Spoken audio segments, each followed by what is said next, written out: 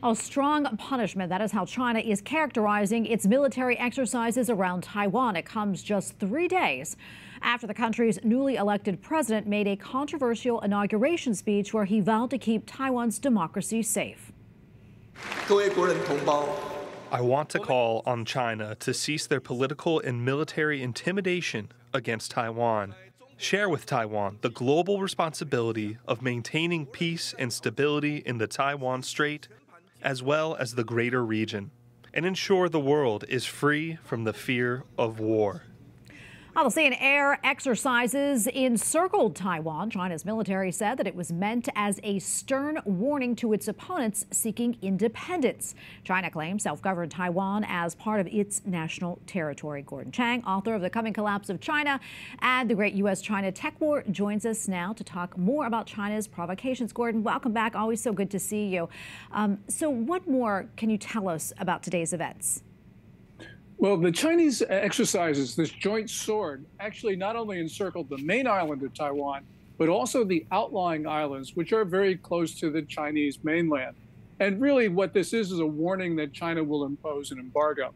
Now, it didn't really matter what William Lai said at his inauguration on Monday. The Chinese had planned this a long time.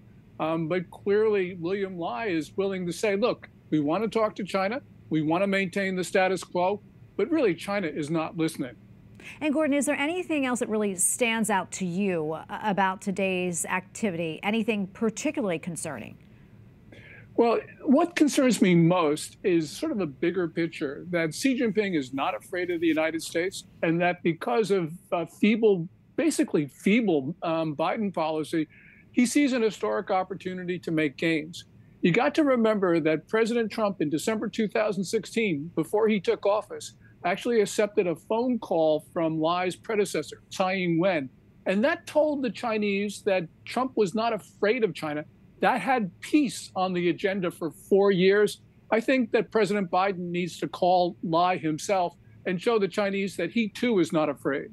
Gordon, from a strategic standpoint, why would China perform these exercises you know, out in the open for Taiwan to see and possibly study? Well, I think that China is trying to intimidate the Taiwan population. Now, that hasn't worked for a very long time because the Taiwanese have sort of become accustomed to these provocative Chinese military maneuvers, but also it's stiffened resolve on the island. Got to remember that Lai um, is historic in the sense that this is the first time in Taiwan's democracy that the Taiwan people have elected three uh, in three straight presidential elections a person from the same party. That's the Democratic Progressive Party, which is quote unquote pro independence. And we heard from the head of the Indo Pacific Command, but what exactly is being done maybe to prevent these exercises from turning into a real invasion? Well, uh, right now, the U.S. is pretty quiet about this. Um, that's been sort of settled U.S. policy, but I think we need to be uh, less ambiguous. We need to tell China that we are willing to defend Taiwan should China invade. If we do that, I think the Chinese back off. Gordon, almost out of time, but quickly, uh, what other stories are you following right now? Uh, the biggest flashpoint in East Asia is really not Taiwan, but is the South China Sea uh, at Scarborough Shoal, uh, Second Thomas Shoal, where the Chinese are engaging in some very, very dangerous and provocative acts, despite warnings from the Biden administration, which showing that deterrence has broken down. Well, Gordon, thank you so much for being with us and always appreciate your analysis. Thank you, Tracy.